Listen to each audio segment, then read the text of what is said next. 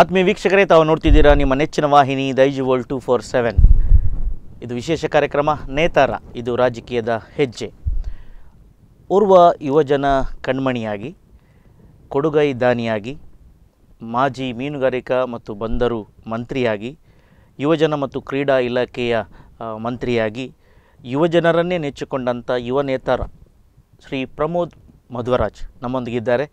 ಅವರೊಂದಿಗೆ ನೇರ ಮಾತುಕತೆ. ಸರ್, ಕಾರ್ಯಕ್ರಮಕ್ಕೆ ಸ್ವಾಗತ. ಪ್ರಮೋದ್ ಮಧ್ವರಾಜ್ ಅಂತ ಹೇಳುವಾಗ ಚುನಾವಣೆ ಸಂದರ್ಭದಲ್ಲಿ ಯಾವ ಪಕ್ಷ ಅಂತೇಳಿ ಒಂದು ಸಮಸ್ಯೆ ಕ್ವಶನ್ ಮಾರ್ಕ್ ಅಂತೇಳಿ ಜನರು ಕೇಳ್ತಾರೆ. ಚುನಾವಣೆ ಬರುವಾಗ ಒಮ್ಮೆ ಬಿ ಜೆ ಪಿ ಒಮ್ಮೆ ಜೆ ಡಿ ಎಸ್, ಒಮ್ಮೆ ಕಾಂಗ್ರೆಸ್. ಸರ್, ಯಾವ ಪಕ್ಷದಲ್ಲಿದ್ದೀರಾ ಈಗ ನಂದು ಐದು ಚುನಾವಣೆ ಆಯಿತು. ನಾಲ್ಕು ಚುನಾವಣೆ ಕಾಂಗ್ರೆಸ್ ಪಕ್ಷದಲ್ಲೇ ನಿಂತಿದ್ದೇನೆ. ಐದನೇ ಚುನಾವಣೆ ನಾನು ಜೆ ಡಿ ಎಸ್ ಚಿಹ್ನೆಯಲ್ಲಿ ಯಾಕೆ ನಿಂತದ್ದಂದರೆ ಈ ಸೀಟನ್ನು ಕಾಂಗ್ರೆಸ್ ಪಕ್ಷವೇ ಜೆ ಡಿ ಎಸ್ಸಿಗೆ ಬಿಟ್ಟುಕೊಟ್ಟಿತ್ತು ಸೊ ಕಾಂಗ್ರೆಸ್ ಮತ್ತು ಜೆ ಡಿ ಎಸ್ಸಿನ ಜಂಟಿ ಅಭ್ಯರ್ಥಿಯಾಗಿ ನಾನು ಸ್ಪರ್ಧೆ ಮಾಡಿದ್ದು. ನಾನು ಕಾಂಗ್ರೆಸ್ ಬಿಟ್ಟು ರಾಜ್ಯದಲ್ಲಿ ಮೈತ್ರಿ ಸರ್ಕಾರ ಇತ್ತು. ಮೈತ್ರಿ ಸ ಮೈತ್ರಿ ಧರ್ಮದ ಪ್ರಕಾರ. ಆಯಿತು. ಸೊ ನಾನು ಸರ್ವಸಾಮಾನ್ಯ ಐದು ಚುನಾವಣೆಯು ಕಾಂಗ್ರೆಸ್ ಪಕ್ಷದ ಲೇಬಲಲ್ಲೇ ನಿಂತದ್ದು. ಸರಿ. ಕಾಂಗ್ರೆಸ್ ಕಾರ್ಯಕರ್ತರು ನನ್ನ ಪರವಾಗಿ ಕೆಲಸ ಮಾಡಿದ್ದು ಸೊ ಹಾಗಾಗಿ ಆ ಗೊಂದಲಗಳನ್ನು ಸೃಷ್ಟಿ ಮಾಡ್ತಕ್ಕಂಥ ಮಾಧ್ಯಮ ಅಥವಾ ವಿರೋಧ ಪಕ್ಷಕ್ಕೆ ನಾನು ಏನು ಮಾಡುವಾಗಿಲ್ಲ ನನ್ನಲ್ಲಿ ಗೊಂದಲ ಇಲ್ಲ. ಯಾರಲ್ಲಿಯೂ ಗೊಂದಲ ಗೊಂದಲ ಇಲ್ಲ. ಯಾರಲ್ಲಿಯೂ ಗೊಂದಲ ಇರಬೇಕಾದ ಅಗತ್ಯ ಇಲ್ಲ. ಸರಿ ತಮ್ಮ ಮನೆತನವೇ ಕಾಂಗ್ರೆಸ್. ತಮ್ಮ ತಂದೆ ಉದ್ಯಮಿ ಆಗಿದ್ದರು ತಾಯಿ ಕಾಂಗ್ರೆಸ್ ಸಂಸದೆ ಕೊನೆಗೆ ಬಿ ಜೆ ಪಿ ಸಂಸದೆ ಆಗಿದ್ದರು ಅವರು ಪಕ್ಷಾಂತರ ಮಾಡಿದ ಸಂದರ್ಭದಲ್ಲಿ ಮಗನೂ ಕೂಡ ಆ ರೀತಿಯಲ್ಲಿ ಅಂಥೇಳಿ ಒಂದು ರೀತಿಯ ಮನೋಭಾವನೆ. ಏನು ಹೇಳ್ತೀರಿ ಇದಕ್ಕೆ? ನೋಡಿ ನಮ್ಮ ತಾಯಿ ಬಿ ಜೆ ಪಿಗೆ ಹೋದಾಗ ಅದು ಎರಡು ಸಾವಿರದ ನಾಲ್ಕನೇ ಇಸ್ವಿ ನನ್ನ ಮೇಲೂ ಒತ್ತಡ ಇತ್ತು. ನಾನು ಬ ಬರೋದಿಲ್ಲ ಅಂತ ನನ್ನ ತಾಯಿಗೆ ಸ್ಪಷ್ಟವಾಗಿ ಹೇಳಿದೆ. ಮತ್ತು ನಾನು ಎರಡು ಸಾವಿರದ ನಾಲ್ಕು ನಮ್ಮ ತಾಯಿ ಲೋಕಸಭೆಗೆ ಸ್ಪರ್ಧೆ ಮಾಡುವಾಗ ನಾನು ಕಾಂಗ್ರೆಸ್ ಪಕ್ಷದ ಪರವಾಗಿ ವಿನಯ್ ಕುಮಾರ್. ಸೊರಕೆ ಅವರ ಜೊತೆಗೆ ವಿಧಾನಸಭೆಗೆ ಸ್ಪರ್ಧೆ ಮಾಡಿದ್ದೇನೆ ಸೊ ಎಲ್ಲೂ ಕೂಡ ನನಗೆ ನನ್ನಲ್ಲಿ ಗೊಂದಲಗಳಿಲ್ಲ. ಇಲ್ಲ. ಸರಿ ಸೊ ಒಂಚೂರು ಬಾಲ್ಯದ ಬಗ್ಗೆ ಹೇಳಿ. ತಮ್ಮ ಹುಟ್ಟು, ತಮ್ಮ ಶಿಕ್ಷಣ, ತಾವು ನಡೆದುಕೊಂಡಂತ ಬಂದ ರೀತಿ ಯುವಕರ ಮೇಲೆ ಯಾಕೆ ಅಷ್ಟೊಂದು ಪ್ರೀತಿ ಅಂತ? ಬಾಲ್ಯದಿಂದ ಶುರು ಮಾಡುವ. ನಿಮ್ಮ ಹುಟ್ಟೂರು? ನಾನು ಹುಟ್ಟಿದ್ದು ಮಲ್ಪೆಯಲ್ಲಿ, ಉಡುಪಿಯಲ್ಲಿ ಬಟ್ ಬಾಲ್ಯ ನಂದು ಮಲ್ಪೆಯಲ್ಲಿ. ನಮ್ಮ ತಂದೆ, ಆಗ ನನ್ನ ತಾಯಿ ಮಂತ್ರಿ.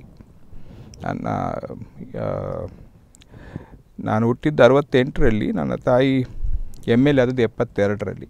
ಸೊ ನಾನು ಸಣ್ಣ ಹುಡುಗನಾಗಿದ್ದಾಗಲೇ ನಮ್ಮ ವಾತಾವರಣ ನಮ್ಮ ಮನೆಯಲ್ಲಿ- ರಾಜಕೀಯ ವಾತಾವರಣ. ಯಾಕಂದರೆ ನಮ್ಮ ತಂದೆ ಭಾಳ ದೊಡ್ಡ ದಾನ ಧರ್ಮ ಮಾಡ್ತಕ್ಕಂಥ ವ್ಯಕ್ತಿ. ನಮ್ಮ ತಂದೆಯ ಒಂದು ಹೃದಯ ವೈಶಾಲ್ಯ ಅದು ನಾನು ಬೇರೆ ಯಾರಲ್ಲೂ ಕಾಣಲಿಲ್ಲ. ತಂದೆಯೇ ಒಂದು ಆದರ್ಶ. ತಂದೆಯೇ ಆದರ್ಶ. ಸೊ ಜನರು ಬರ್ತಾ ಹೋಗ್ತಾ ಇದ್ರು. ಮತ್ತು ನಾನು ಕೂಡ ಸ್ವಲ್ಪ ತಿರುಗಾಟದ ಹುಚ್ಚು ನನಗಾಗಲೇ ಆಗಲೇ ಇತ್ತು.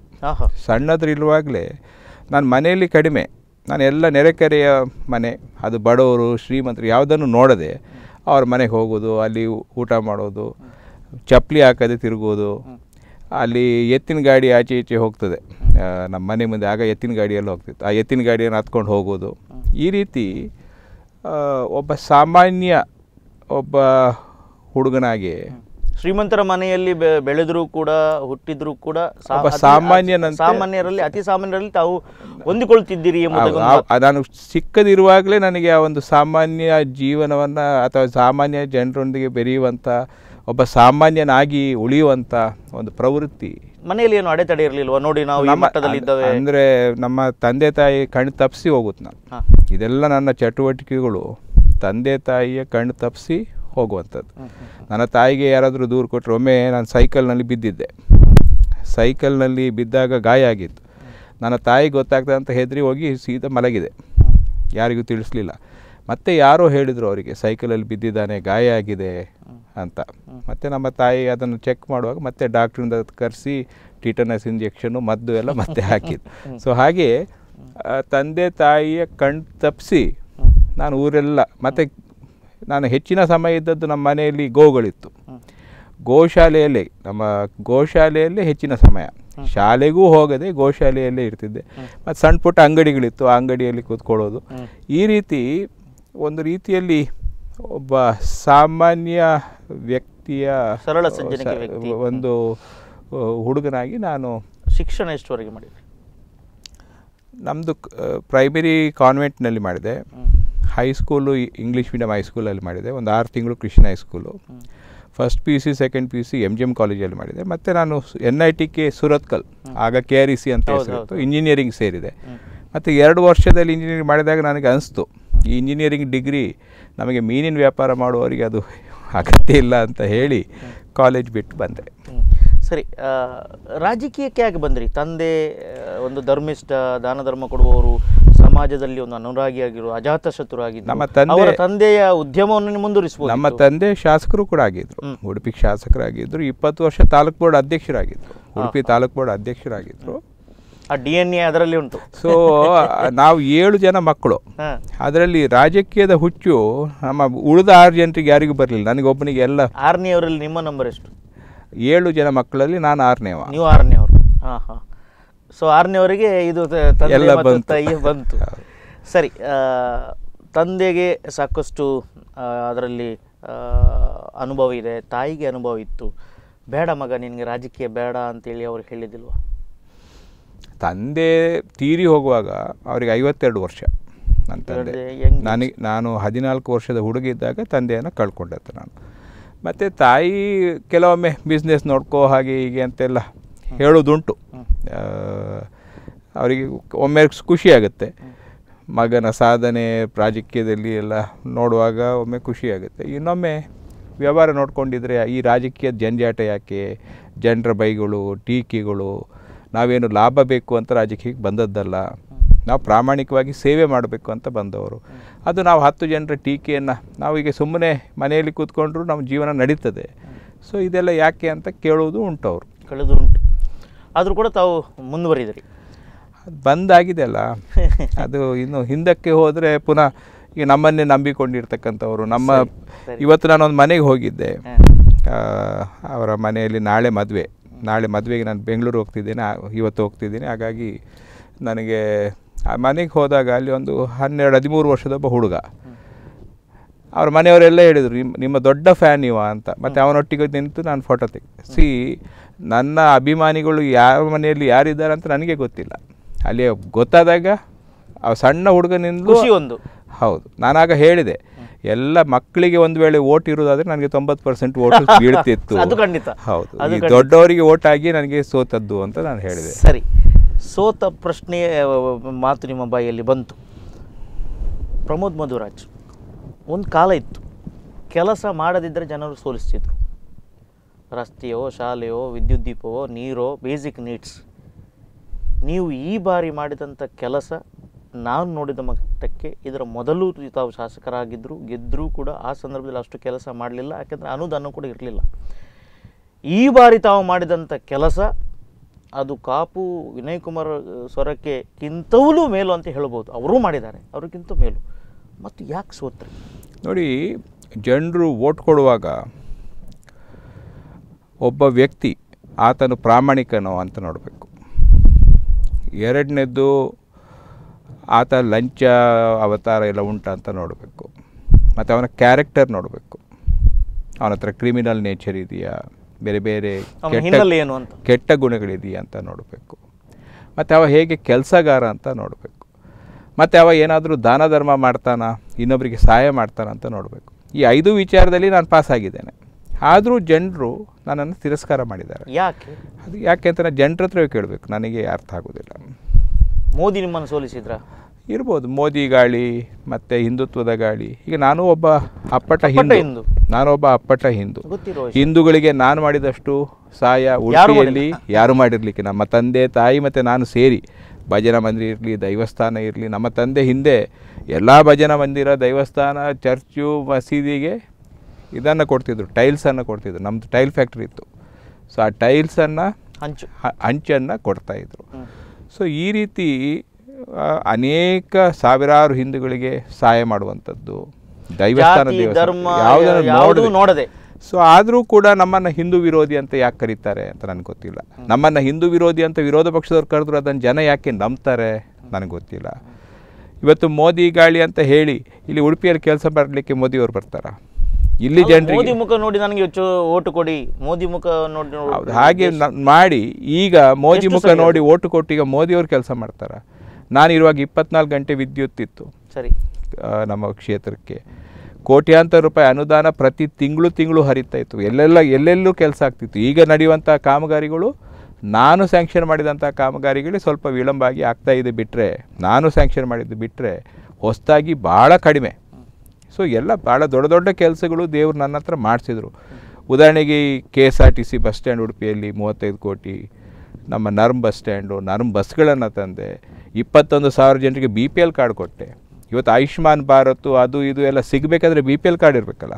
ಅದು ನಾನು ಹಳ್ಳಿ ಹಳ್ಳಿಗಳಿಗೆ ಹೋಗಿ ಅಧಿಕಾರಿಗಳನ್ನು ಕಳಿಸಿ, ಅಧಿಕಾರಿಗಳ ಹತ್ರ ಟಾರ್ಗೆಟ್ ಕೊಟ್ಟು ಬಿ ಪಿ ಎಲ್ ಕಾರ್ಡ್ಗಳನ್ನು ಕೊಡ್ತೇವೆ. ನೈಂಟಿ ಫೋರ್ ಸಿ ಅರ್ಜಿಗಳನ್ನು ವಿಲೇವರಿ ಮಾಡಿದ್ದೇವೆ. Ninety four C C D ನೋಟಿಸನ್ನು ಕೊಟ್ವಿ. ಮತ್ತು ಸುಮಾರು ಒಂದು ಸಾವಿರ ಜನ ಮ ಬಾಡಿಗೆ ಮನೆಯಲ್ಲಿರೋರಿಗೆ ಒಂದು ಹೆರ್ಗದ ಹತ್ರ ಎಲ್ಲ ಜಾಗ ಎಲ್ಲ ನೋಡಿ ಲೇಔಟ್ ಎಲ್ಲ ಮಾಡಿ ಎಲ್ಲ ಎಲ್ಲ ಮಾಡಿ. ನಾನು ಪುನರಾಯ್ಕೆ ಆಗ್ತಿದ್ರೆ ಆ ಕೆಲಸಗಳೆಲ್ಲ ಆಗ್ತಿತ್ತು. ಈಗ ಅದೆಲ್ಲ ಹಿನ್ನಡೆ ಆಗಿದೆ. ಸೊ ನಾನು ಸೋತದ್ರಿಂದ ನನಗೇನು ನಷ್ಟ ಆದಾಗೆ ನನಗೆ ಅನಿಸೋದಿಲ್ಲ. ಆದರೆ ಜನರಿಗೆ ನಷ್ಟ ಆಗಿದೆಯೋ ಇಲ್ಲೋ ಅಂತ ಜನರು ಲೆಕ್ಕಾಚಾರ ಹಾಕ್ಬೇಕು ಬಿಟ್ಟರೆ ಆ ಬುದ್ಧಿವಂತಿಕೆ ಜನರಲ್ಲಿ ಇದೆ.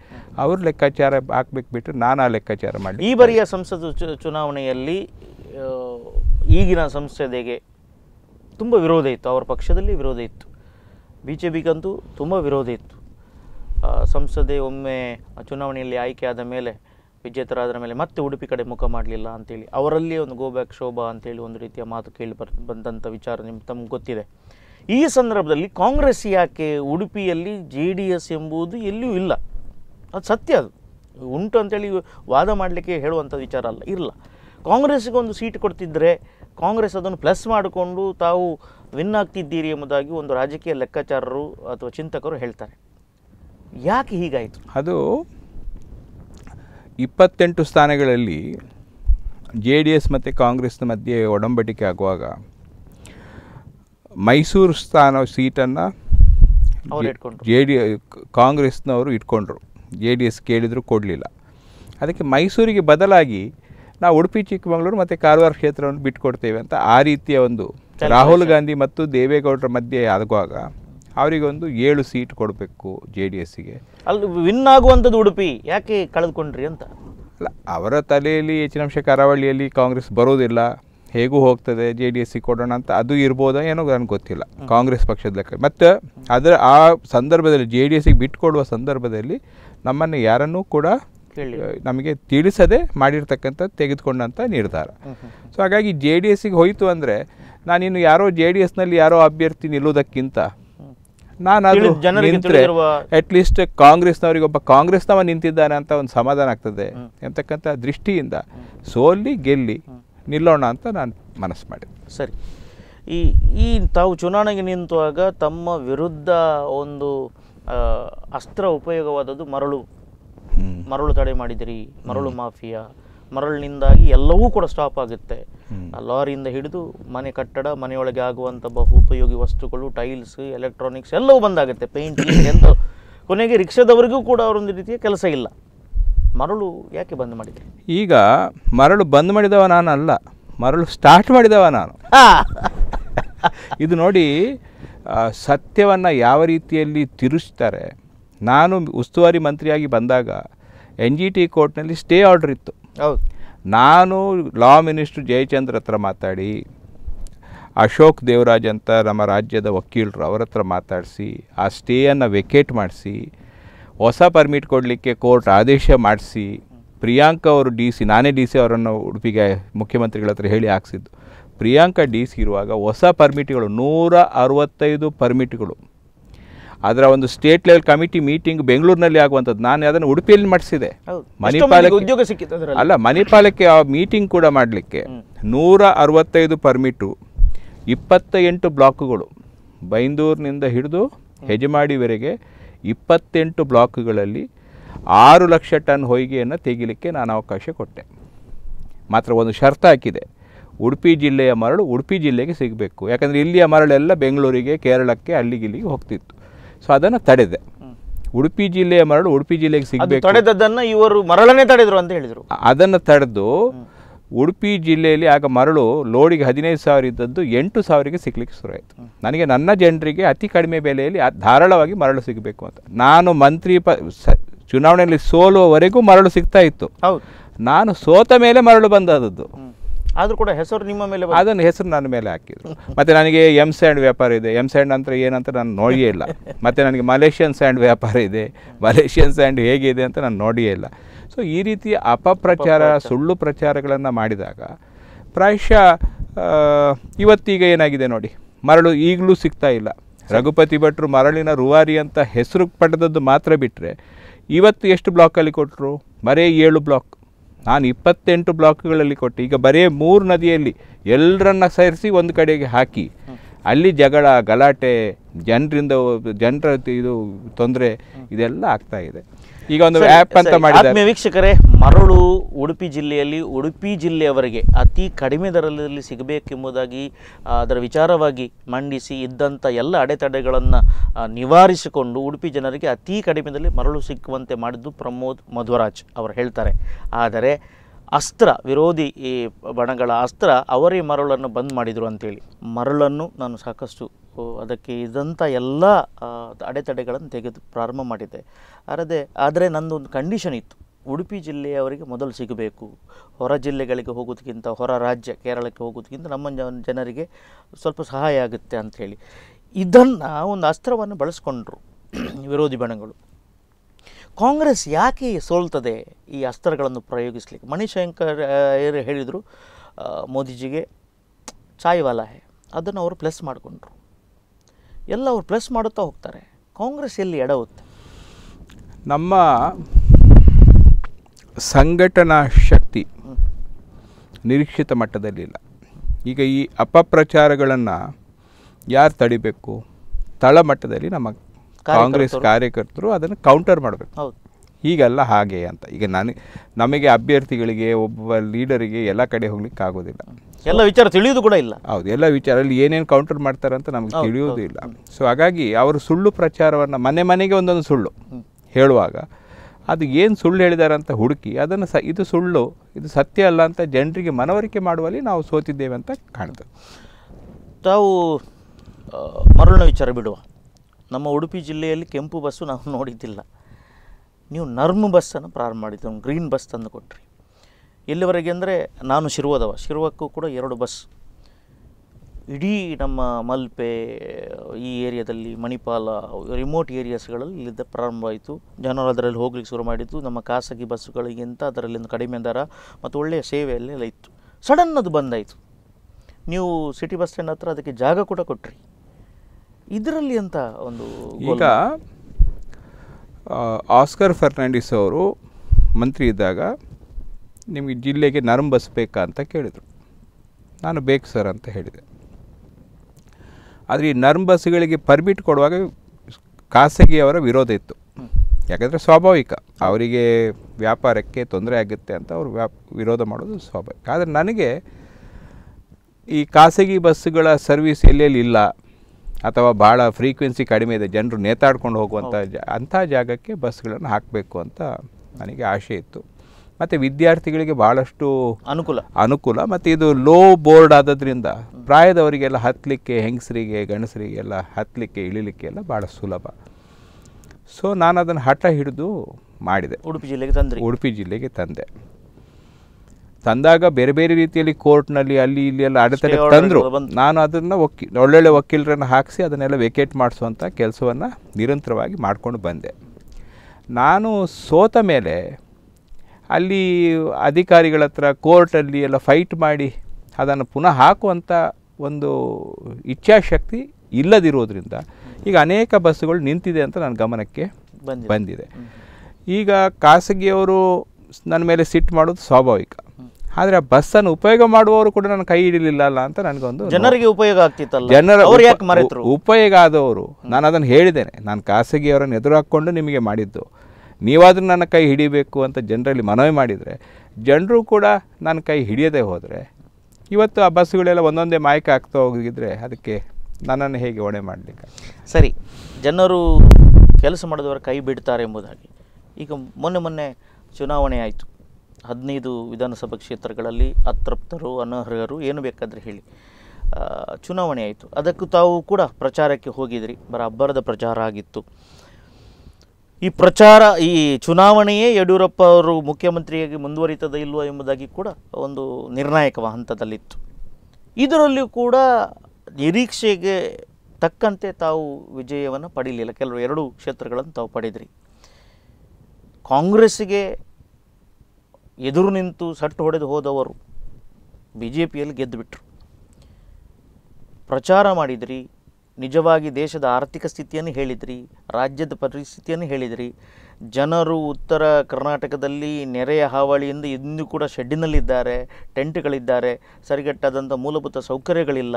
ಆದರೂ ಕೂಡ ಬಿ ಜೆ ಪಿಗೆ ಓಟ್ ಕೊಟ್ಟರು ಎಲ್ಲಿ ಸೋತ್ರಿ ನೀವು? ಯಾವ ಪ್ರಚಾರದಲ್ಲಿ ಸೋತ್ರಿ? ಈಗ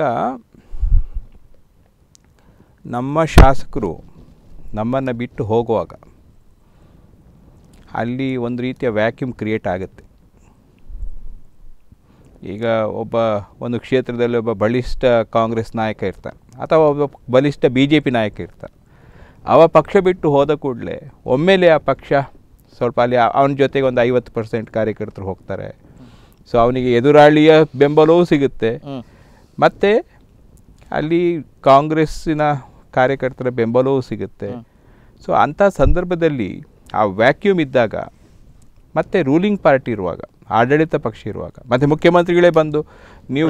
ನೀವು ಗೆಲ್ಲಿಸಿದ ಶಾಸಕನ ನಾನು ನೇರವಾಗಿ ಮಂತ್ರಿ ಮಾಡ್ತೇನೆ ಅಂತ ರೂಪಾಯಿ ನಿಮಗೆ ಅನುದಾನ ಕೊಡ್ತೇನೆ ಕ್ಷೇತ್ರಕ್ಕೆ ಅಂತ ಹೇಳಿದಾಗ ಒಂದು ರೀತಿಯ ಸ್ವಾರ್ಥ ಜನರಲ್ಲಿ ಬರೋದು ಸ್ವಾಭಾವಿಕ.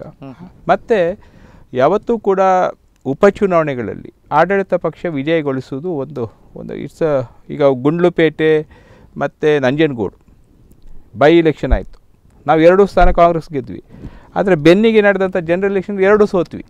ಸೊ ಹಾಗೆ ಬೈ ಇಲೆಕ್ಷನ್ನಲ್ಲಿ ಜನರ ತೀರ್ಮಾನ ಒಂದು. ಬೈ ಜನರಲ್ ತಾವು ಆಡಳಿತದ ಮಾಡ್ತಾ ಇದ್ದೀರಿ. ಯಾವಾಗ? ಮೈತ್ರಿ ಸರ್ಕಾರ ಇತ್ತಲ್ಲ? ಬೈ ಇಲೆಕ್ಷನ್ನಲ್ಲಿ ಮೊನ್ನೆ ಇಲೆಕ್ಷನ್ನಲ್ಲಿ ಈಗ ಬಿಜೆಪಿ ಸರ್ಕಾರ. ಹೌದು. ಹಾಗಾಗಿ ಆಡಳಿತ ಪಕ್ಷ ಯಾವುದಿದೆ ಅದರ ಮೇಲೆ ಹೊಂದಿಕೊಂಡಿದೆ. ಅದರ ಪ್ರಭಾವ ಇರುತ್ತೆ ಅಂತ ಹೇಳೋದು ಸರಿ ಈಗ ಈರುಳ್ಳಿಯ ಬೆಲೆ ನೂರ ಅರವತ್ತಕ್ಕೆ ನೂರ ಎಂಬತ್ತಕ್ಕೆ ಬಂದು ಬಂತು. G S T four point ಫೈವ್ಗೆ ಇಳಿಯಿತು. G D P G D P G S ಟಿಯಿಂದ ಮತ್ತು ನೋಟು ಅಮಾನ್ಯೀಕರಣದಿಂದ ತುಂಬ ಸಮಸ್ಯೆ ಆಯಿತು. ಗ್ಯಾಸು ನಾಲ್ನೂರು ರೂಪಾಯಿಗೆ ಸಿಗುವಂಥದ್ದು ಸಹ ಹತ್ತಿರ ಹತ್ತಿರ ಸಾವಿರಕ್ಕೆ ಬಂದು ಮುಟ್ಟಿತು ಯಾವಾಗ ಮನಮೋಹನ್ ಸಿಂಗ್ನ ಸರ್ಕಾರ ಇತ್ತು ಯಾವಾಗ ಕಾಂಗ್ರೆಸ್ ಸರ್ಕಾರ ಇತ್ತು ರಾಜ್ಯದಲ್ಲಿ ಆಗಲಿ ಕೇಂದ್ರದಲ್ಲಿ ಆಗಲಿ ಒಂದು ಪ್ರಬಲವಾದಂಥ ವಿರೋಧ ಪಕ್ಷ ಬಿ ಜೆ ಪಿ ಅವರು ಹೋರಾಟ ಮಾಡ್ತಿದ್ರು. ಸ್ಮಿತಾ ಇರಾನ್ ಆಗಲಿ ಶೋಭಾ ಕರಂದ್ಲೇಜೆ ಆಗಲಿ, ನಡು ರಸ್ತೆಯಲ್ಲಿ ನಿಂತ್ಕೊಂಡು ಹೋರಾಟ. ಈ ಹೋರಾಟವನ್ನು ತಾವು ವಿರೋಧ ಪಕ್ಷದಲ್ಲಿರುವಂಥ ಸಂದರ್ಭದಲ್ಲಿ ತಾವು ಅಷ್ಟು ಉಗ್ರವಾಗಿ ನಾವು ತಾವು ಮಾಡ್ತಾ ಇಲ್ಲ. ಮತ್ತು ನಿರ್ಮಲಾ ಸೀತಾರಾಮನ್ರವರ ಒಂದೊಂದು ಹೇಳಿಕೆಗಳು ಭಾಳ ಒಂದು ಹಾಸ್ಯಾಸ್ಪದಕ. ನಾನು ನೀರುಳ್ಳಿ ತಿಂತಾ ಇಲ್ಲ. ಹಾಗೆ ನಾನು ಯಾಕೆ ಅದರ ಬಗ್ಗೆ ತಲೆ ಖರ್ಚು ಮಾಡಬೇಕು? Whereas you are not encashing ನಾನು ಏನು ಹೇಳಿಕೆ ಅಂತ ಹೇಳ್ತೇನೆ ಅಂದರೆ, ನಮ್ಮ, ಅಂದರೆ ಕಾಂಗ್ರೆಸ್ ಪಕ್ಷದ ಯಾವ ವಿಚಾರಗಳಿವೆ, ಅವರು ಹಿಡಿದಿಟ್ಟುಕೊಂಡು ವಿರೋಧವನ್ನು ವ್ಯಕ್ತಪಡಿಸ್ತಾರೆ. ಅವರದ್ದು ಏನು ಫೇಲಿಯರ್ಸ್ ಇದೆ, ಕಾಂಗ್ರೆಸ್ ಮಾಡ್ತಾ ಇಲ್ಲ. ಎಲ್ಲಿ ಎಡವಿದ್ದೀರಿ ನೀವು? ಅದೇ ಅದೇ ನೀವು ಸತ್ಯ, ಧರ್ಮ, ನಿಷ್ಠೆ ಅದರಲ್ಲೇ ಇದ್ದೀರಿ. ಕಾಂಗ್ರೆಸ್ನ ಪ್ರಿನ್ಸಿಪಲ್ಗಳು ಏನು ಬದಲಾಗಲಿಲ್ಲವಾ? ಈಗ ನಾನು ಒಂದು ಒಪ್ಕೊಳ್ಳೇಬೇಕಾಗ್ತದೆ. ಆಡಳಿತ ಮಾಡೋದು ಹೇಗೆ ಅಂತ ಕಾಂಗ್ರೆಸ್ಸಿಗೆ ಗೊತ್ತಿದ್ದಾಗೆ ಬಿ ಜೆ ಪಿ ಗೊತ್ತಿಲ್ಲ. ಒಂದು ಉದಾಹರಣೆ ಕೊಡ್ತೇನೆ ನಾನು. ನೀವು ಮೊಬೈಲ್ ಈಗ ಕಾಲ್ ಡ್ರಾಪ್ ಆಗ್ತಾ ಇರ್ತದೆ. ನಿಮಗೆ ಸಿಗ್ನಲ್ ಎಲ್ಲ ಕಡೆಯಲ್ಲಿ ಸಿಗೋದಿಲ್ಲ. ಅದೇ ಡಾಕ್ಟರ್ ಮನಮೋಹನ್ ಸಿಂಗ್ ಪ್ರಧಾನಮಂತ್ರಿ ಇದ್ದಾಗ ಹಳ್ಳಿ ಹಳ್ಳಿಯಲ್ಲಿ ಮೊಬೈಲಲ್ಲಿ. ಜನರು ಭಾಳ ಸುಲಭದಲ್ಲಿ ಹಳ್ಳಿ ಹಳ್ಳಿಯಲ್ಲಿ ಸಂಪರ್ಕಗಳಿತ್ತು. ಈಗ ಮನಮೋಹನ್ ಸಿಂಗ್ ಹೋದ ಹೋಗಿ ಮೋದಿ ಸರ್ಕಾರ ಬಂದ ಮೇಲೆ ಮೊಬೈಲ್ ಕೂಡ ಸಂಪೂರ್ಣ ಕ್ರ್ಯಾಶ್ ಆಗಿದೆ. ಇಂಟರ್ನೆಟ್ಟು ಅದು ಇದು ಎಲ್ಲ ಸರಿಯಾಗಿ ಸಿಗ್ತಾ ಇಲ್ಲ. ಜಿಯೋ ಮಾಡಿಕೊಟ್ರು ಅವರು. ಸೊ ಮುಗಿಸಿದ್ರು. ಜಿಯೋ ಅನ್ನು ಮಾಡಿಸಿ ಬಾಕಿ ಕಂಪನಿಯನ್ನು ಮುಗಿಸಿ ಈಗ ಜಿಯೋದವ್ರು ಏರಿಕೆ ಮಾಡ್ತಿದ್ದಾರೆ. ಈಗ ಇನ್ನೂ ಲಾಭ ಅವ್ರು ಮಾಡ್ಲಿಕ್ಕೆ ಶುರು ಮಾಡ್ತಾರೆ. ಹೌದು. ಅದು ಜನರಿಗೆ ಅವರಿಗೆ ಆದ ಜಿಯೋಗೆ ಆದ ನಷ್ಟವನ್ನು ಇನ್ನು ಬಡ್ಡಿ ಸಮೇತ ವಸೂಲು ಮಾಡ್ತಾರೆ. ಅದು ಜನರ ಮೇಲೆ ಬೀಳುತ್ತೆ. ಸೊ ಕಾಂಗ್ರೆಸ್ ಪಕ್ಷಕ್ಕೆ ಆಡಳಿತ ಮಾಡಿ ಗೊತ್ತು ಬಿ ಜೆ ಪಿ ಪಕ್ಷಕ್ಕೆ ವಿರೋಧ ಮಾಡಿ ಗೊತ್ತು. ನಾವು ವಿರೋಧ ಪಕ್ಷದಲ್ಲಿರುವಾಗ ಬಿ ಜೆ ಹೇಗೆ ವಿರೋಧ ಮಾಡೋದು ಬಿ ಜೆ ಪಿ ಅಷ್ಟು ವಿರೋಧ ಮಾಡಲಿಕ್ಕೆ ನಮ್ಗೆ ಗೊತ್ತಿಲ್ಲ. ಬಿ ಜೆ ಪಿಯವರಿಗೆ ಆಡಳಿತ ಮಾಡಲಿಕ್ಕೆ ಗೊತ್ತಿಲ್ಲ. ಇದೊಂದು ಸಮಸ್ಯೆ ಇರೋದ್ರಿಂದ ನಾವು ಮತ್ತು ಬಿ ಜೆ ಪಿಯವರ ಸುಳ್ಳು ಗಿಲ್ಲು ನಮಗೆ ಹೇಳಲಿಕ್ಕೆ ಬರೋದಿಲ್ಲ. ನಾವೆಲ್ಲ ಸತ್ಯ ಸತ್ಯ ಸತ್ಯ ಅಂತಲೇ ಮಹಾತ್ಮ ಗಾಂಧಿ ನಿರ್ಮಿಸಿದಂಥ ಪಕ್ಷ ಆದದ್ರಿಂದ ನಾವು ಸತ್ಯವನ್ನು ಆಧಾರವಾಗಿ ಇಟ್ಕೊಂಡು ಹೋಗ್ತೀವಿ. ಬಿ ಜೆ ಪಿಯವರು ಸುಳ್ಳನ್ನು ಆಧಾರವಾಗಿ ಇಟ್ಕೊಂಡು ಹೋಗ್ತಾರೆ. ಆದರೆ ಜನ ನಂಬೋದು ಸುಳ್ಳನ್ನು. ಈ ಸುಳ್ಳು ನಮ್ಮ ದೇಶದ ಟ್ಯಾಗ್ ಲೈನ್ ಇದೆ ಸತ್ಯಮೇವ ಜಯತೆ. ಇದೆ ಬಟ್ ಅದಕ್ಕೆ ಕೊನೆಗೆ ಸಿಗೋದು ಸ್ವಾಗ ಇದು ಅದಕ್ಕೆ. ಈಗ ಸಮುದ್ರ ಮಂಥನ ಆಗುವಾಗ ಅಮೃತ ಮೊದಲು ಬಂದದ್ದು ವಿಷ. ಮತ್ತೆ ಬರುವುದು ಅಮೃತ. ಇದು ಭಾರತ ದೇಶದ ಒಂದು ಪರಂಪರೆ. ಹಾಗಾದ್ರೆ ಇವ- ಇವರ ಸಮಯ ಸ್ವಲ್ಪ ಅಲ್ಪ ಅಂತ ಹೇಳ್ತೀವಿ ಸೊ ಹಾಗಾಗಿ ಜನರಿಗೆ ಮನವರಿಕೆ ಆಗಬೇಕು. ಈಗ ಮೋದಿ ಅವರ ಏನು ಭಾಷಣಗಳಿತ್ತು. ಬೆಲೆ ಏರಿಕೆಯ ಬಗ್ಗೆ ಡಾಲರ್ನ ಬಗ್ಗೆ ಜಿ ಡಿ ಪಿ ಬಗ್ಗೆ. ಆವಾಗ ಮನಮೋಹನ್ ಸಿಂಗನ್ನು ಟೀಕೆ ಮಾಡಿ. ಅದನ್ನು ಈಗ ಪ್ಲೇ ಮಾಡ್ತಿದ್ದಾರೆ ಎಲ್ಲರೂ ಸೊ ಅವರ ಏನು ಆ ಒಂದು ವಿರೋಧ ಮಾಡುವಂಥ ಒಂದು ಕಲೆ. ಕಲೆ ಇತ್ತು.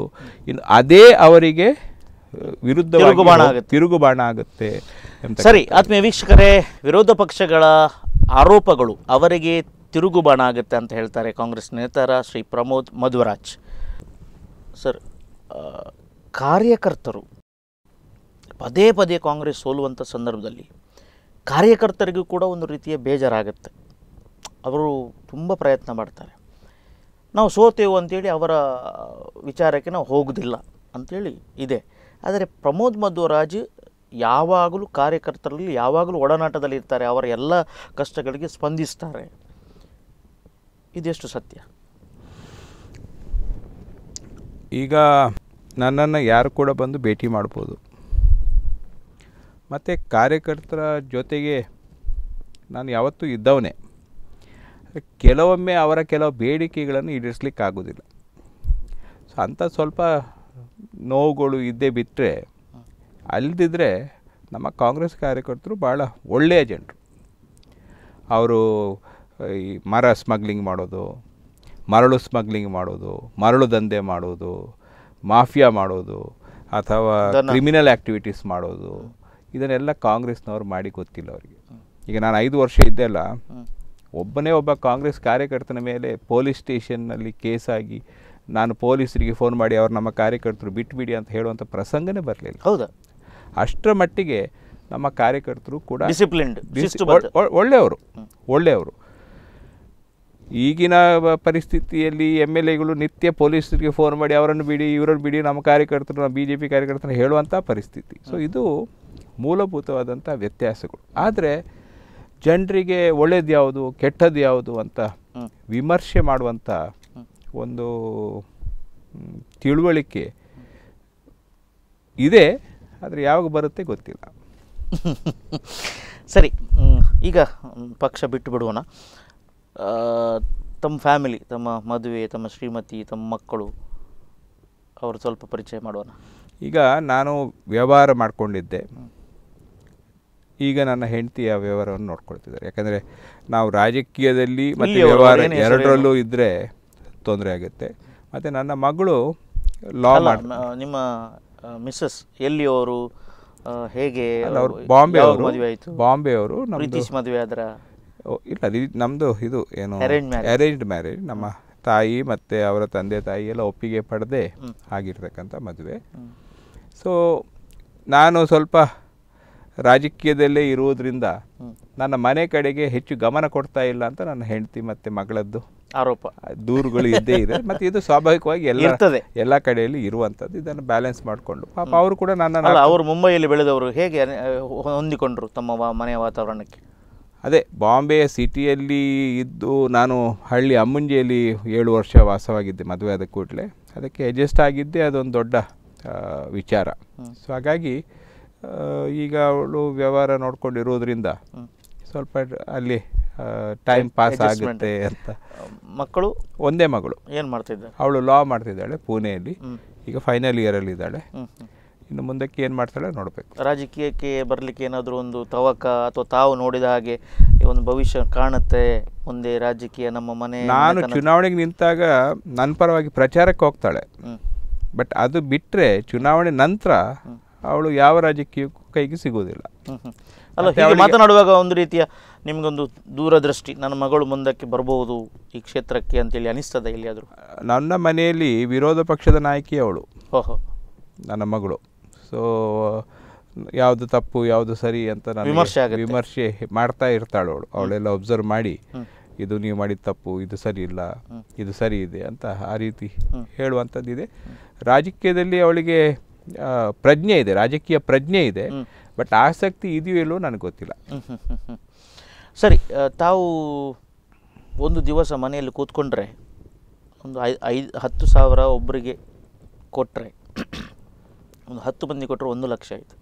ನಾನು ಕೇಳಿದ್ದೇನೆ ಅಥವಾ ನಾನು ಸ್ವತಃ ಅನುಭವಿಸ್ತೇನೆ ನಾನು ನನ್ನ ಶಾಲೆಯ ಪರವಾಗಿ ನಮ್ಮ ಸಂಘಟನೆ ಪರವಾಗಿ ಬಂದಾಗ ಏನು ಎಲ್ಲಿ ಏನು ಕೇಳದೆ ಹತ್ತು ಸಾವಿರ ರೂಪಾಯಿ ಚೆಕ್ಕನ್ನು ಕೊಡ್ತೀರಿ. ಹೀಗೆ ನೀವು ಕೊಡುತ್ತಾ ಕೊಡುತ್ತಾ ಹೋದರೆ ನಿಜವಾಗಿ ಅಗತ್ಯ ಇದ್ದವರೇ ಬರ್ತಾರಾ ಅಥವಾ ಅಗತ್ಯ ಇಲ್ಲದವರು ಕೂಡ ಒಂದು ವಿಚಾರ ಬರ್ತಾರಾ? ಈಗ- ಬಗ್ಗೆ ಒಂದು ದಿವಸಕ್ಕೆ ಒಂದು ಮೂರು ಲಕ್ಷ ಎರಡು ಲಕ್ಷ ಅಂತ ಹೇಳಿದ್ರೆ ಸುಲಭದ ಮಾತಲ್ಲ. ಅಲ್ಲ ಈಗ ನನ್ನ ವ್ಯವಹಾರ ಒಂದು ಮೂರು ನಾಲ್ಕು ವರ್ಷದಿಂದ ಸರಿಯಾಗಿ ನಡೀತಾ ಇಲ್ಲ. ನಾವು ಬೇರೆಯವರಿಂದ ದುಡ್ಡು ತಕ್ಕೊಂಡು ಕೊಡೋದಲ್ಲ ನಮ್ಮ ಸ್ವಂತ ದುಡಿಮೆ ಹಣವನ್ನು ಸಹಾಯ ಮಾಡುವಂಥದ್ದು. ಸೊ ಯಾವಾಗಲೂ ಒಬ್ಬ ಮನುಷ್ಯನ ಆರ್ಥಿಕ ಪರಿಸ್ಥಿತಿ ಒಂದೇ ರೀತಿ ಇರೋದಿಲ್ಲ. ಸೊ ಏರು ತಗ್ಗು ಇರುತ್ತೆ. ಆದರೂ ನಾನು ಕಷ್ಟದಲ್ಲಿದ್ದಂಥ ಸಂದರ್ಭದಲ್ಲಿ ಕೂಡ ಯಾರಿಗಾದರೂ ಬಂದರೆ ಒಂದು ಕಿಂಚಿತ್ ಸಹಾಯ ಮಾಡುವಂಥದ್ದನ್ನು ಇಟ್ಕೊಂಡಿದ್ದೇನೆ. ನಮ್ಮ ತಂದೆಯಿಂದ ಬಂದಂಥ ಗುಣ ಅದು. ಈಗಲೂ ಮುನ್, ಮುಂದುವರಿಸ್ತಿದ್ದೇನೆ. ಆದರೆ ನಾನು ಯಾವಾಗ ಅದು ಸಹಾಯ ಮಾಡ್ತಿದ್ದೆ, ಅಲ್ಲಿ ತುಂಬ ದುರುಪಯೋಗ ಕೂಡ ನಡೀತಾ ಇತ್ತು. ಎಷ್ಟೋ ನಮ್ಮ ಮದುವೆಗೆ ಅಂತ ಕೊಡ್ತಿದ್ದೆ. ಇನ್ವಿಟೇಷನ್ ತಂದು ಕೊಡ್ತಾಯಿದ್ರು ಮತ್ತು ಆ ಇನ್ವಿಟೇಷನ್ ನೋಡಿ ನಾನು ಮದುವೆಗೆ ಹೋದರೆ ಅಲ್ಲಿ ಮದುವೆನೇ ಇಲ್ಲ. ನನಗೆ ಸಲುವಾಗಿ ಒಂದು ಬೋಗಸ್ ಇನ್ವಿಟೇಷನ್ ಮಾಡಿ ತರುವಂಥದ್ದು. ಮತ್ತು ನಾನು ಮೆಡಿಸಿನ್ಸ್ ಕೊಡ್ತಿದ್ದೆ. ಒಂದು ಮೆ ಮೆಡಿಕಲ್ ಎಂಪೋರಿಯಂ ಉಡುಪಿಯಲ್ಲಿ ಒಂದು ಮೂರು ಸಾವಿರದ ನಾಲ್ಕು ಸಾವಿರ ರೂಪಾಯಿದು ಮೆಡಿಸಿನ್. ಅಲ್ಲಿಂದ ಮೆಡಿಸಿನ್ ತಗೊಂಡು ಇನ್ನೊಂದು ಮೆಡಿಕಲ್ ಶಾಪಿಗೆ ಹೋಗಿ ಒಂದು ಐನೂರಿಗೆ ಮಾರೋದು. ಓಹೋ ಮೂರು ಸಾವಿರದ ಮೆಡಿಸಿನ್ ತಗೊಂಡೋಗಿ ಐನೂರಕ್ಕೆ ಮಾರೋದು. ಸ್ಟೂಡೆಂಟ್ಸಿಗೆ ಕೆಲವರಿಗೆ ನಾನು ಚೆಕ್ ಕೊಡ್ತಿದ್ದೆ. ನಾನು ಚೆಕ್ ಕೊಟ್ಟ ವಿಚಾರವನ್ನು ತಂದೆ ತಾಯಿಗೆ ತಿಳಿಸದೆ. ಆ ತಂದೆ ತಾಯಿ ಹತ್ರವೂ ದುಡ್ಡು ತಕೊಳ್ಳೋದು ನನ್ನ ಹತ್ರ ಚೆಕ್ಕಿನ ಮಾಡೋದು. ನಂದು ಎನ್ಕೇಶ್ ಮಾಡೋದು. ಮತ್ತೆ ಆ ದುಡ್ಡನ್ನು ತಗೊಂಡು ಬಾರಿಗೆ ಹೋಗೋದು. ಸೊ ಇಂಥದ್ದು ಎಲ್ಲರಲ್ಲ ಇಂಥದ್ದು ದುರುಪಯೋಗ ಸ್ವಲ್ಪ ಮಟ್ಟಿಗೆ ಆಗಿದೆ. ಮತ್ತು ನಾವು ದಾನ ಧರ್ಮ ಮಾಡುವಾಗ ದುರುಪಯೋಗ ಆಗಬಾರ್ದು ಅಂತ ನಿರೀಕ್ಷೆ ಮಾಡೋದು ಸರಿಯಲ್ಲ. ಅದಾಗಿ ಆಗುತ್ತೆ. ಬಟ್ ಇದು ಒಳ್ಳೆಯದಲ್ಲ. ನಾವು ಒಬ್ಬರಿಗೆ ಸಹಾಯ ಮಾಡಬೇಕು ಅಂತ ಕೊಟ್ಟಂಥ ಇದನ್ನು ದುರುಪಯೋಗ ಮಾಡುವಂಥ ಪ್ರವೃತ್ತಿ ಇದೆಯಲ್ಲ ಇದು ಒಳ್ಳೆಯದಲ್ಲ ನಾಲ್ಕು ವರ್ಷದಿಂದ ನನ್ನ ವ್ಯವಹಾರ ಸ್ವಲ್ಪ ತಾನು ಯೋಚಿಸಿದ ಹಾಗೆ ನಡೀತಿಲ್ಲ ಅಂತ ಹೇಳ್ತೀರಿ. ನಾಲ್ಕೈದು ವರ್ಷದಿಂದ ತಾವು ನಮ್ಮ ಪಕ್ಷಕ್ಕೆ ಬರಬೇಕು ಅಂಥೇಳಿ ಆ ಪಕ್ಷದವರು ತಮ್ಮ ವ್ಯವಹಾರಕ್ಕೆ ಏನು ಅಡ್ಡಪಡಿಸ್ತಾ ಇದ್ದಾರೆ? ಇಲ್ಲ. ನನಗೆ ಬಿ ಜೆ ಪಿಯವರು ನನ್ನ ವ್ಯವಹಾರಕ್ಕೆ ಯಾವುದೇ ರೀತಿಯಲ್ಲಿ ತೊಂದರೆ ಕೊಟ್ಟಿಲ್ಲ. ಅದು ಏನಾದರೂ ಹೊರಗೆ ಆ ರೀತಿ ಸುದ್ದಿ ಇದ್ದರೆ ಅದು ಸುಳ್ಳು. ನಮ್ಮ ಪಕ್ಷ ಬಂದರೆ ನಾವು ಸುಧಾರಿಸಿಕೊಡ್ತೇವೆ ನಿಮ್ಮ ಕ್ಲಿಕ್ ಮಾಡ್ತೇವೆ. ನಾನು ನೂರಕ್ಕೆ ನೂರು ಸರಿಯಾಗಿ ಟ್ಯಾಕ್ಸ್ ಕಟ್ಟುವವ ನೂರಕ್ಕೆ ನೂರು ಕಾನೂನು ಪ್ರಕಾರ ನಡೆಯುವವ. ಸೊ ನ ಈಗ ನಮ್ಮದು ಫಿಶ್ ಮಿಲ್ ಇಂಡಸ್ಟ್ರಿಗೆ ಕಳೆದ ಬಾರಿ ನಮ್ಮ ಪಕ್ಷಕ್ಕೆ ಬಂದರೆ ತಮ್ಮ ವ್ಯವಹಾರವನ್ನು ಡೆಲ್ಲಿವರೆಗೆ ಹಳ್ಳಿಯಿಂದ ಡೆಲ್ಲಿವರೆಗೆ ವಿಸ್ತರಿಸ್ತೇವೆ. ಬನ್ನಿ. ಇಲ್ಲ ಆಫರ್ ಯಾವ ಆಫರು ಬಂದಿಲ್ಲ. ಬಂದಿಲ್ಲ. ಆಫರ್ ಬಂದೂ ಇಲ್ಲ. ಬಿ ಜೆ ಪಿಯವರು ನನಗೆ ತೊಂದರೆ ಕೊಟ್ಟೂ ಇಲ್ಲ. ಅದೆಲ್ಲ ಸುಳ್ಳು ಸುದ್ದಿ. ಸರಿ. ಸುವರ್ಣ ತ್ರಿಭುಜ. ಒಬ್ಬ ಶಾಸಕನಾಗಿ ಬಿಡಿ. ಅದೇ ಒಂದು ಮೀನುಗಾರರ ಮನೆತನವರ ಮನೆತನ ಆಗಿ ತಾವು ಸಾಕಷ್ಟು ಪ್ರಯತ್ನವನ್ನು ಪಟ್ಟ್ರಿ ಒಂದುವರೆಗೆ, ಒಂದು ಎಷ್ಟರವರೆಗೆ ಅಂತ ಹೇಳಿದರೆ ತಮ್ಮ ಮಾತನ್ನು ಕೂಡ ಮಾಧ್ಯಮದವರು ಅವರಿವರು ಕೇಳದ ಹಾಗೆ ರೀತಿಯಲ್ಲಿ ವರ್ತಿಸಿದರು. ಇಲ್ಲ, ಇದಕ್ಕೆ ಮಾನ್ಯ ರಘುಪತಿ ಭಟ್ ರಘುಪತಿ ಭಟ್ ಅವರು ಮಾತ್ರ ಇದಕ್ಕೆ ಇದರ ಬಗ್ಗೆ ವಿಚಾರ ಮಾಡಿದ್ದು ಅಂತ ಹೇಳಿ ಬಂತು. ತಾವು ಇದರ ಬಗ್ಗೆ ಎಷ್ಟು ಕೆಲಸ ಮಾಡಿದ್ದೀರಿ ಈಗ ಕುಮಾರಸ್ವಾಮಿ ಮುಖ್ಯಮಂತ್ರಿ ಇದ್ದರು ನಾನು ಮತ್ತು ಜಿ ಶಂಕರ್ ಅವರು ಕುಮಾರಸ್ವಾಮಿ ಹತ್ರ ಮಾತಾಡಿ ಅವರಿಗೆ ತೀರಿ ಹೋದಂಥ ಒಂದೊಂದು ಕುಟುಂಬದವರಿಗೆ ನಿಜವಾಗಿ ಸಿಗಬೇಕಾದದ್ದು ಆರು ಲಕ್ಷ ರೂಪಾಯಿ. ಅದು ಹಿಂದೆ ಎರಡು ಲಕ್ಷ ಇತ್ತು. ನಾನೇ ಮೀನುಗಾರಿಕಾ ಮಂತ್ರಿಯಾಗಿ ಅದನ್ನು ಆರು ಲಕ್ಷ ಮಾಡಿದ್ದು. ಆದರೆ ಕುಮಾರಸ್ವಾಮಿ ಹತ್ರ ನಾವು ರಿಕ್ವೆಸ್ಟ್ ಮಾಡಿ ಹನ್ನೊಂದು ಲಕ್ಷ ಪ್ರತಿಯೊಂದು ಕುಟುಂಬಕ್ಕೆ ಹನ್ನೊಂದು ಹನ್ನೊಂದು ಲಕ್ಷ ಕೊಟ್ಟಿದ್ದೇವೆ. ಸುಮಾರು ಎಪ್ಪತ್ತ ಏಳು ಲಕ್ಷ. ಮತ್ತು ಪೊಲೀಸರ ಮೇಲೆ ಒತ್ತಡ ತರುವಂಥದ್ದು. ಹುಡುಕಾಟದಲ್ಲಿ ಎಲ್ಲ ಸಹಾಯ ಮಾಡುವಂಥದ್ದೆಲ್ಲ ನಾವು ಮಾಡಿದ್ದೇವೆ. ಮತ್ತು ಜಯಮಾಲ ಅವರು ಬಂದರು ಹೋಮ್ ಮಿನಿಸ್ಟ್ರು ಎಂ ಬಿ ಪಾಟೀಲನ್ನು ಕಳಿಸಿದ್ವಿ. ಎಲ್ಲ ಪ್ರಯತ್ನವನ್ನು ನಾವು ಮಾಡಿದ್ದೇವೆ. ಈಗ ಅದು ತ್ರಿ, ಅದೊಂದು boat I N S Kochi ಎಂಬ ಒಂದು ಶಿಪ್ಪೆ, ನೇವಿ ಶಿಪ್ಪೆ ಅದನ್ನು ಹೊಡೆದು ಆ ರೀತಿ ಆದದ್ದು ಅಂತ ನಮ್ಮ ಆರೋಪ. ಅದಕ್ಕೆ ಏನೂ ಸ್ಪಷ್ಟೀಕರಣ ಇನ್ನೂ ಕೇಂದ್ರ ಸರ್ಕಾರದಿಂದ ಬಂದಿಲ್ಲ. ಮತ್ತು ಕೇಂದ್ರ ಸರ್ಕಾರ ತನ್ನ ಶಿಪ್ಪಿಂದಲೇ ಆದಂಥ ಅನಾಹುತಕ್ಕೆ ಒಂದು ರೂಪಾಯಿ ಪರಿಹಾರ ಕೊಡಲಿಲ್ಲ. ಆ ಏಳು ಅವರು ಒಪ್ಕೊಳ್ತಾ ಇಲ್ಲ ತಮ್ಮ ಶಿಫ್ಟ್ ಆಗಿದೆ ಅಂತ ಹೇಳಿ. ತಾವು ಆರೋಪ ಮಾತ್ರ ಮಾಡ್ತಿದ್ದೀರಿ. ಹೌದು ಒಪ್ಕೊಳ್ಳಿಕ್ಕೆ ಅಂದರೆ ಅವರೆಲ್ಲ ಅದನ್ನು ಮುಚ್ಚಿ ಹಾಕಿದ್ದಾರೆ. ನಾನು ಅದನ್ನು ತನಿಖೆ ಮಾಡಬೇಕು ಅಂತ ಒತ್ತಡ ಮಾಡಿದಾಗ ಅದನ್ನು ಮುಚ್ಚಿ ಹಾಕಿದರು. ಇವ ದೇಶದ ವಿರೋಧ ಮಾತಾಡ್ತಾನೆ ಅಂತ ಹೇಳಿದರು. ಇವ ಆರ್ಮಿ ನೇವಿ ವಿರುದ್ಧ ಮಾತಾಡ್ತೇನೆ ಅಂತ ಹೇಳಿದರು. ಆ ಪಾಪ ಏಳು ಕುಟುಂಬದವರಿಗೆ. ಈಗ ಅವರಾಗಿ ಅವರ ಕುಟುಂಬದ ಕೆಲವು ಸದಸ್ಯರು ಡೆಲ್ಲಿಗೆ ಎರಡು ಮೂರು ಸಲ ಹೋಗಿ ಬಂದರು ಪರಿಹಾರಕ್ಕೆ. ನಾವು ಅವರ ಮನೆ ಬಾಗಿಲಿಗೆ ಪರಿಹಾರ ಕೊಟ್ವಿ. ಹನ್ನೊಂದು ಲಕ್ಷ ಪ್ರತಿ ಮನೆಗೆ. ಕೇಂದ್ರದಿಂದ ಒಂದು ಚಿಕ್ಕಾಸು ಪರಿಹಾರ ಬರಲಿಲ್ಲ. ಆದರೂ ಜನರು ಏನು ಹೇಳ್ತಾರೆ? ಕೇಂದ್ರ ಮೋದಿ ಸರ್ಕಾರ ಭಾರಿ ಒಳ್ಳೆಯ ಸರ್ಕಾರ. ನೀವೇ ಸರಿ ಇಲ್ಲ ಅಂತ ನಮಗೆ ಹೇಳ್ತಾರೆ. ಇದಕ್ಕೇನು ಹೇಳಬೇಕು? ಸರಿ ಯಾವಾಗ ಚುನಾವಣೆ ಬರುತ್ತೆ ಅಥವಾ ಯಾವಾಗ ಇಂಥ ಒಂದು ಗಿಮಿಕ್ ಬರುತ್ತೆ ಆ ಸಂದರ್ಭದಲ್ಲಿ ತಾವು ಒಂದು ಅನ್ಯ ಮಾರ್ಗದ ವಿಚಾರವನ್ನು ಮಾಧ್ಯಮದ ಮೂಲಕ ಸಿಡಿಗು ಸಿ ಡಿಯನ್ನು ಬಿಡುಗಡೆಗೊಳಿಸ್ತೇನೆ ಈ ಬಗ್ಗೆ ಗೊತ್ತಿದೆ ರಾಸಲೀಲೆಯ ಬಗ್ಗೆ ಗೊತ್ತಿದೆ ಆ ರೀತಿಯಲ್ಲಿ ಪ್ರಮೋದ್ ಮಧ್ವರಾಜು ಅನ್ಯ ಮಾರ್ಗವನ್ನು ಪಡೆದುಕೊಳ್ತಾರೆ ಅನ್ನೋ ಆರೋಪ. ನಾನು ನನಗೆ ಅದರ ನಂಬಿಕೆನೂ ಇಲ್ಲ ನಾನು ಅದನ್ನು ಮಾಡೋದೂ ಇಲ್ಲ. ಸರಿ ಈ ಎಲ್ಲ ವಿಚಾರಗಳನ್ನು ನೋಡುತ್ತಿರುವಂಥ ಸಂದರ್ಭದಲ್ಲಿ ಒಂದು ಕಡೆಯಲ್ಲಿ ಕಾರ್ಯಕರ್ತಲ ಒಂದು ಅವರಲ್ಲಿರುವಂಥ ಹುಮ್ಮಸ್ಸು ಕಡಿಮೆ ಆಗಿದೆ. ಮತ್ತೊಂದು ಕಡೆಗಳಲ್ಲಿ ಒಳ್ಳೆಯ ಕೆಲಸ ಮಾಡುತ್ತಾ ಹೋದರೆ ಕೆಟ್ಟದನ್ನೇ ಕೇಳುವಂಥ ಪರಿಸ್ಥಿತಿ. ಜನರು ಎಲ್ಲವನ್ನು ಪಡೆದುಕೊಂಡು, ಲಾಭವನ್ನು ಪಡೆದುಕೊಂಡು, ಸಹಾಯವನ್ನು ಪಡೆದುಕೊಂಡು, ದಾನವನ್ನು ಪಡೆದುಕೊಂಡು ಬೇಕಂತ ಸಂದರ್ಭದಲ್ಲಿ ನನ್ನ ಕೈ ಬಿಡ್ತಾರೆ. ರಾಜಕೀಯ ಸಾಕು ಬೇಡ ಇನ್ನು, ನಿರಾಸೆ ಆದದಿದೆಯಾ ನೋಡಿ, ನಾವು ರಾಜಕೀಯದಲ್ಲಿ ಇರೋದು ಜನರ ಸೇವೆ ಮಾಡಲಿಕ್ಕೆ. So offering myself to the people ಜನರಿಗೆ ನಾನು ನಿಮಗೆ ಸಮರ್ಪಣೆ ಮಾಡ್ತೇನೆ. ನೀವು ನೆಚ್ಚಿಕೊಳ್ಳೋದಾದರೆ ನೆಚ್ಕೊಳ್ಳಿ. ತಿರಸ್ಕಾರ ಮಾಡೋದಾದ್ರೆ ತಿರಸ್ಕಾರ ಮಾಡ್ಕೊಳ್ಳಿ. ಅಂತ ಅವಕಾಶ ಕೊಡೋದು ನನ್ನ ಧರ್ಮ. ಸೊ ಈಗ ಈಗ ನಾನು ಸೋತಿದ್ದೇನೆ. ಸ್ವಲ್ಪ ನನಗೆ ಟೆನ್ಷನ್ ಫ್ರೀ ಯಾಕಂದರೆ ಐದು ವರ್ಷ ನಾನು ಎಂ ಎಲ್ ಎ ಮಂತ್ರಿ ಇದ್ದಾಗ ಒಂದು ನಿಮಿಷ ಕೂಡ ವಿಶ್ರಾಂತಿ ತಗೊಳ್ಳಿಲ್ಲ. ಇಪ್ಪತ್ನಾಲ್ಕು ಗಂಟೆ ನಾನು ಜನರ ಬಗ್ಗೆ ಯೋಚನೆ ಮಾಡಿದ್ದು. ಇಪ್ಪತ್ನಾಲ್ಕು ಗಂಟೆ. ಅದಕ್ಕೆ ಆ ದಕ್ಷ ಸಂಸ್ಥೆಯವರು ಟೈಮ್ಸ್ ಆಫ್ ಇಂಡಿಯಾ ಡೆಕನಲ್ನವರು ಇಡೀ ರಾಜ್ಯದಲ್ಲಿ ಇನ್ನೂರ ಇಪ್ಪತ್ನಾಲ್ಕು ಎಂ ಎಲ್ ಎಗಳ ಒಂದು ಸರ್ವೆ ಮಾಡಿದಾಗ ಬೆಸ್ಟ್ ಎಂ ನನಗೆ ಪ್ರಥಮ ಸ್ಥಾನ ಸಿಕ್ಕಿದ್ದು ಸುಮ್ಮನೆ ಅಲ್ಲ. ಆದರೆ ಅದನ್ನು ದುಡ್ಡು ಕೊಟ್ಟು ಮಾಡಿಸಿದ್ರು ಅಂತ ಹೇಳಿದರು.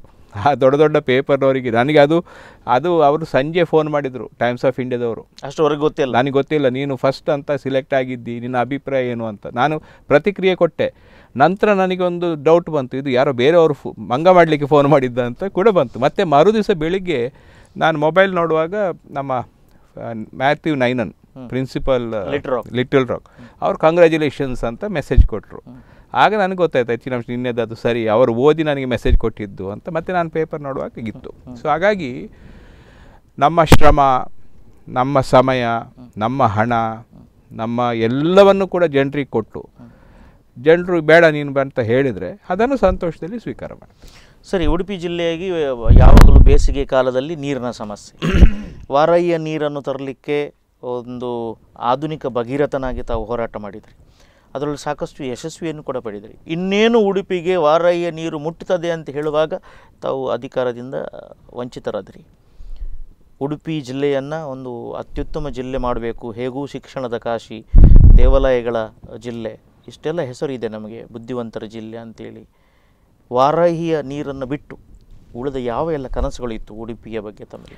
ಈಗ ನನಗೊಂದು ಒಳ್ಳೆಯ ಆಸ್ಪತ್ರೆ ಮಾಡಿಸ್ಬೇಕು ಅಂತಿತ್ತು.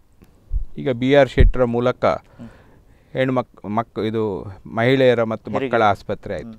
ಈಗ ಅದು ಇನ್ನೂರು ಬೆಡ್ಡು. ಹಿಂದೆ ಇದ್ದದ್ದು ಬರೀ ಐವತ್ತು ಬೆಡ್ಡು. ಐವತ್ತು ಬೆಡ್ನ ಆಸ್ಪತ್ರೆಯಲ್ಲಿ ಕೂಡ ಎಲ್ಲ ಸೋರ್ತಾ ಇತ್ತು. ಈಗ ಒಂದು ಫೈವ್ ಸ್ಟಾರ್ ಮಟ್ಟದ ಒಂದು ಬೆಡ್ ಇನ್ನೂರು ಬೆಡ್ಡಿನ ಖಾಸಗಿ ಆಸ್ಪತ್ರೆ. ಹಾಗೆ. ಖಾಸಗಿ ಆಸ್ಪತ್ರೆ ಬಟ್ ಏನು ಬಿಲ್ಲಿಂಗ್ ಇದೇ ಇಲ್ಲ.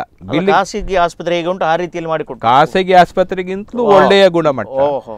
ಬಿಲ್ ಸಮೇತ ಬಿಲ್ಲಿಂಗ್ ಸೆಕ್ಷನೇ ಇಲ್ಲ. ಸಂಪೂರ್ಣ ಉಚಿತ. ನನ್ನನ್ನು ಆ ರೀತಿ ಬಿ ಆರ್ ಶೆಟ್ಟರ್ ಹತ್ರ ದುಡ್ಡು ತಗೊಂಡ, ಲಂಚ ತಗೊಂಡ ಅಂತ ಹೇಳಿದರು. ಈಗ ಅದರ ಪ್ರಯೋಜನ ಯಾರು ಪಡೀತಿದ್ದಾರೆ? ಬಡವರು ಪಡಿತಿದ್ದಾರೆ ಎಲ್ಲರೂ ಪಡೀತಿದ್ದಾರೆ. ನನಗೆ ಸಂತೋಷ ಇದೆ.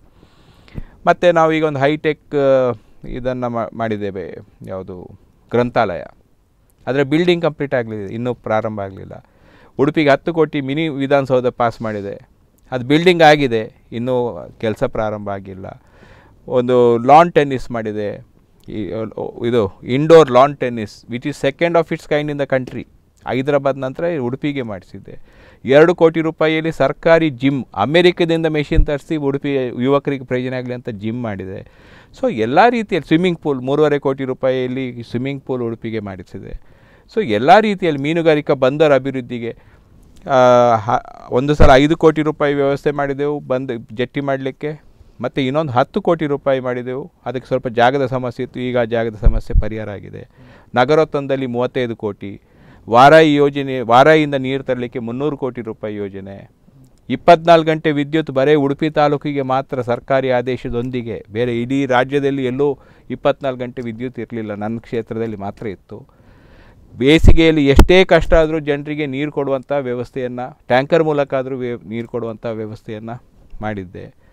ಸೊ ಎಲ್ಲ ರೀತಿಯಲ್ಲಿ ಜನರಿಗೆ ತೊಂದರೆ ಆಗಬಾರ್ದು ಅಂತ ಜನರ ಒಂದು ಹಿತದೃಷ್ಟಿಯಿಂದ ಜನರಿಗೆ ತೊಂದರೆ ಆಗಬಾರ್ದು ಅಂತ ನಾನು ದುಡ್ದಿದ್ದೆ. ಆದರೆ ಅದನ್ನು ಜನರು ಅರ್ಥ ಮಾಡ್ಕೊಳ್ಳಿಲ್ವೋ ಅಥವಾ ಜನರಿಗೆ ಪ್ರಯೋಜನ ಆಗಲಿಲ್ವೋ ನನಗೆ ಗೊತ್ತಿಲ್ಲ. ಕೊನೆಯ ಪ್ರಶ್ನೆ.